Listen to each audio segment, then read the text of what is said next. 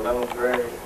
I don't think Mackenzie should close because it would hurt my family and the other families financially because it's already hard enough to get to Mackenzie, but it would be that much harder to get to another school farther away. My name is Alicia and I'm an 11th grader. I've been attending Mackenzie since the 10th grade, and I have adapted to school, and I don't think that should close down because of the transportation problems that we would have. Like, if Mackenzie closed down, then I would Cody, and I would have to catch the bus to school every day when I could walk to school if Mackenzie was still open. And plus, there would be a lot of gang violence and a lot of people being hurt. So I just think that the school shouldn't close down because of the problems that would be caused to people.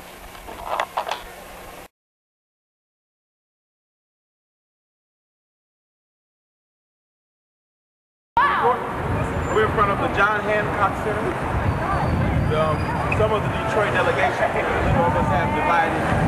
Hello, my name is Damon Sewell. I went to Mackenzie. I graduated in 1992. From there, I went to the University of Michigan. I graduated from the University of Michigan in 1997. Currently teaching mathematics at Mackenzie, Algebra 1 and Algebra 2. Um, I feel like Mackenzie is very detrimental to the community. I enjoyed my experience at Mackenzie, and I feel like the change might be a bit much for the kids. If, if there has to be change, I feel like the change needs to be a little more subtle and not so drastic and not so extreme. Some people, when they sleep on the wrong side of the bed, they don't get a good night's sleep. And that's a simple change. Here we're talking about changing kids' whole environment, everything they know, and influencing and having negative impact on their education. Um, I wish it was a better tactic that they used or something a little more subtle or something a little more easier for the kids to adjust to because I feel like the change will make a lot of students drop out and not continue their educations. Uh, I feel like the staff here at Mackenzie was very helpful in me becoming, um, getting to college and as far as getting scholarships and other things of that nature. And I feel like a lot of kids are going to miss out from this community. And I really wish it was a better way that they could make this transition. Uh, my name is uh, Mr. Gaston. I'm a teacher here at Mackenzie High School. I'm also a former student here, graduated in 1985.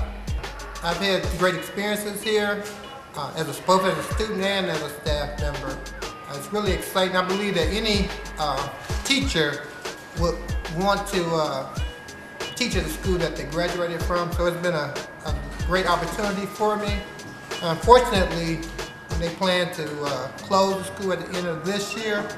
Uh, I think uh, personally that's not a good idea. Mainly being an alumni of this school, I would love to see the school stay open. And I also think that uh, we have quality students here and staff and that uh, although we have some problems here, I think that if we all work together, and I think we were uh, going in the right direction uh, to correct those uh, problems that we are having here. And I think that uh, staying open would be probably more beneficial to our students rather than sending them off to schools outside of their neighborhood.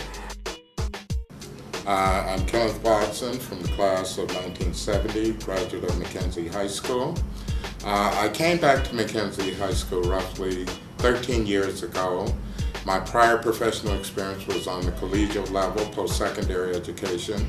I purposefully came back to Mackenzie in a sense of giving back. Since I've been at Mackenzie, I've been the college and scholarship coordinator. We have always uh, came in in the top 10 of all Detroit public high schools, which is roughly 32. In fact, we've uh, had uh, years where we've been in the top five. I take great pride in that.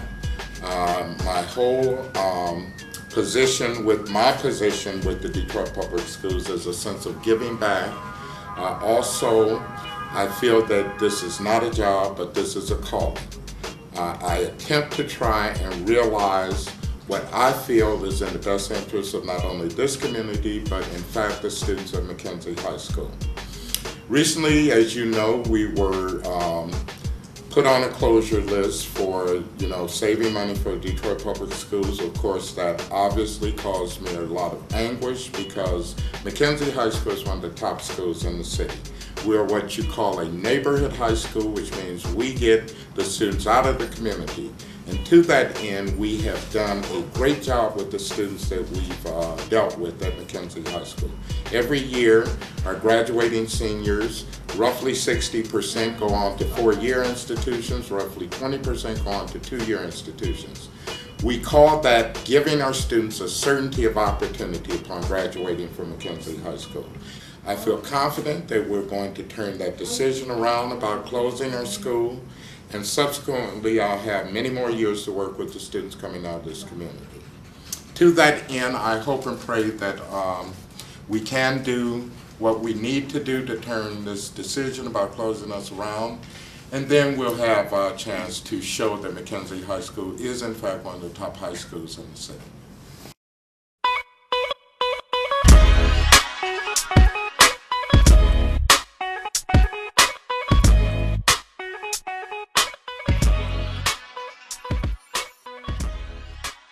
My name is Delia Graham, class of 2007 at David Mackenzie High School. Delia Graham. Delia Graham. Delia. Delia Graham. I participate in many activities such as track and field, cross country. Uh, I'm the editor-in-chief of my school newspaper. I received over $200,000 in scholarship money over the past couple of months. My experience here has helped me gain um, my many accomplishments because it's a small, it's a big school, but it becomes small once you get in, involved in um, the many programs. And you have so many teachers and so many counselors that are willing to help you, such as Mr. Watson, Ms. Jameson, Ms. Holloway, um, Mr. McGee, and the list goes on and on. So, and it's, it's always the couple, the few students that um, tend to make Mackenzie look bad when actually, when you actually focus on the positive things, you find many. My name is Devon Bass. I am a 12th grader at Mackenzie High School. Um, I have an overall GPA of a 3.1. I am a compact ambassador. I was just recently inducted into the National Honor Society. And I played football for three years here at Mackenzie High School. The three issues that I am concerned with is security, safety, and overcrowding the schools. With security, when you close these schools, will there be enough security to protect the children? When you close these schools, think about all of those gangs that they are going to be in one building. A lot of fights, a lot of crime, high, high crime in the schools. And imagine how many fights there will be again. And the safety. Think about the safety of the children. Are the children going to be safe coming to school and from school, coming in different neighborhoods that they have no uh, idea to know nothing about? And will they be enough security in the building at all times during school hours? With the overcrowding in schools, with the overcrowding, the teachers will have a hard time teaching large number of classes. There will be more students in the hallway, more fights, and more students skipping. And with all my heart, I do not want to close, but the style and the way that you are doing this too harsh. We as the black youth from the inner city deal with too many unfair consequences. We have to find a better way. Hi, my name is Kiara Jones, and I am a junior at Mackenzie High School. I believe Mackenzie should stay open for the fact that for years, Mackenzie, Cody, and Cooley has been having drama. People don't really know like the reason for it, but it has been going on, and you can't really just send Mackenzie students over to Cooley and Cody, because you're talking about how all the gangs are like building up now. At one school, if you send them to another school, you got those gangs, and they don't like each other, so they're going to fight, and you're going to have even more drama, more killing and everything.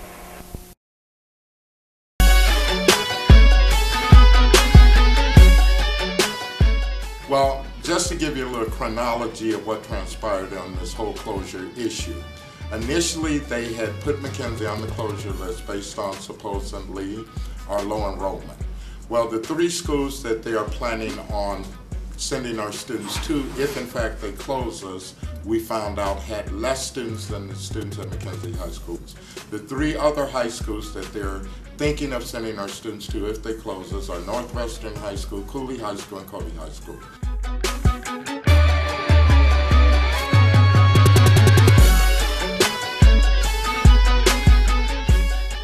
Once we were able to point out that we had a higher enrollment, the next obstacle became our building conditions. We are urban high school, and yes, our school is an old high school built in roughly 1939.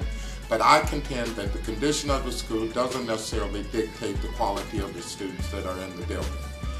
Thirdly, they indicated that we needed $2 million in order to repair our boiler system. We have had numerous inspections going back to 2005 indicating that our boiler was safe and operable. As recently as four weeks ago, we had a city inspector from the city of Detroit inspect our boiler, and he gave us a clean bill of health saying the boiler was uh, in fact safe and operable. It just needed some minor repairs in the condensation piping system. Again, these inspections are a matter of record with the city of Detroit. If they were being fair with us, they would research that and see that our boiler system doesn't require two million. However, because they have made that a criteria for us staying open, we've reached out to our alumni and we have gotten commitments in excess of $2 million came, brought in provided that the school system meets certain demands for that $2 million to flow into repairing Mackenzie High School. Those conditions basically are that that money is solely earmarked for Mackenzie High School and should not go anywhere else.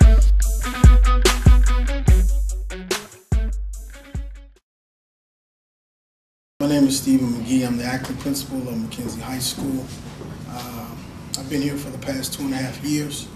In terms of uh, my experiences, uh, prior to this, I was curriculum leader and program manager at Crockett uh, Career Center, also the head football coach. Before that, I worked at the uh, uh, United States Pentagon as a counterfeit specialist. Um, in terms of the student body uh, here at Mackenzie, what I've found and, and, what I've been taught by many of them is that a lot of our students do want to learn. They have a thirst for learning. We have uh, 1,589 students, including the second chance. We have maybe 125 students who uh, are habitual students, meaning they're doing things they have no business doing. The other 1,400, they're here to learn. And we try to uh, create an educational environment that's conducive for learning, for them. It's unfortunate that uh, Mackenzie is slated to close. Uh, 100 years ago, we as African Americans were fighting to be educated. 100 years later, we're closing our schools. And that seems a shift in the paradigm. And it's a, a negative shift in my mindset as a, as a caregiver and as an educator. It seems as if we were trying to keep open every school possible to educate our children. So it's unfortunate, but uh, that's why they talk about why the rose grows from the concrete. It grows because of blood, sweat, and tears. And our kids are here persevering.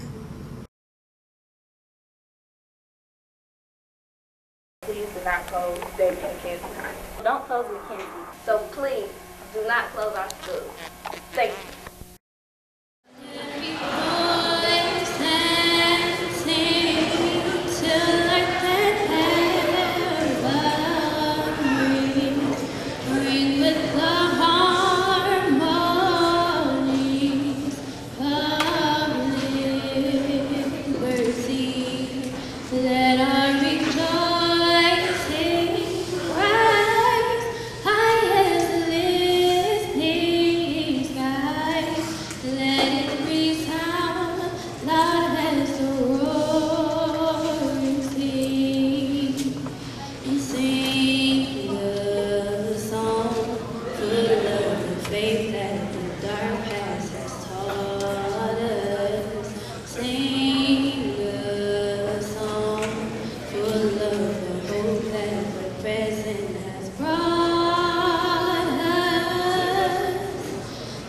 Facing the.